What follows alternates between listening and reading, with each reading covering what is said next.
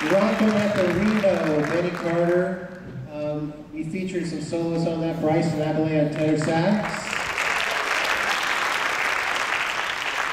Emil Margallo on the trumpet.